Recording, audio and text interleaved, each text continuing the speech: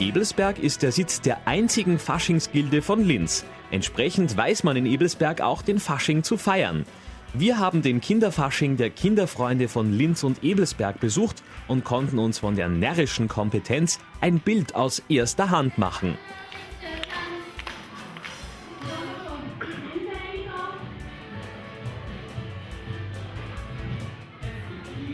Wir stellen jetzt auch schon fest, dass die Kinder schon auf die Lieder und auf gewisse Spiele, was beim Kinderfasching angeboten werden, warten. Und wenn es abgeht, dann wird es eingefordert von den Kindern.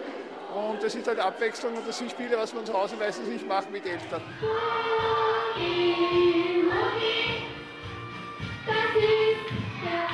Die Langeweile wurde an diesem letzten Sonntag im Februar draußen gelassen.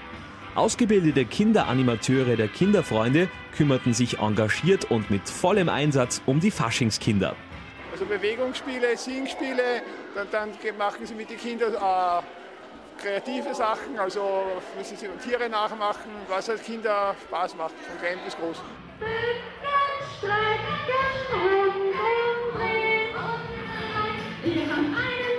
Eröffnet wurde der Kinderfasching im Volkshaus Ebelsberg traditionsgemäß mit dem Einmarsch der Faschingsgilde Ebelsberg, dem Faschingsprinzenpaar und den Gardetänzerinnen.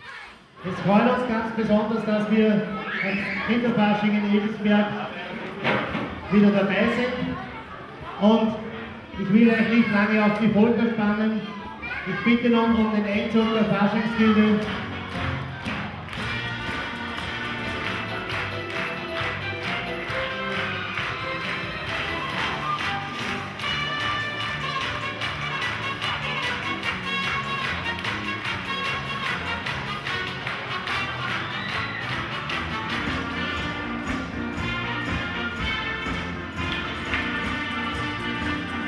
Zahlreiche Tänze, Gesänge, Faschings- und Bewegungsspiele machten diesen Nachmittag zu einem spannenden Abenteuer für die Kleinen und natürlich auch für die mitgekommenen erwachsenen Begleiter.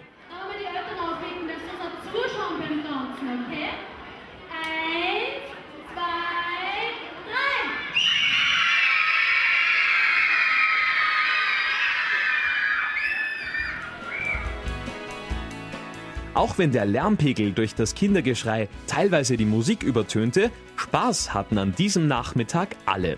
Nähere Informationen zu den Angeboten und Veranstaltungen der Kinderfreunde finden Sie im Internet unter www.kinderfreunde.at.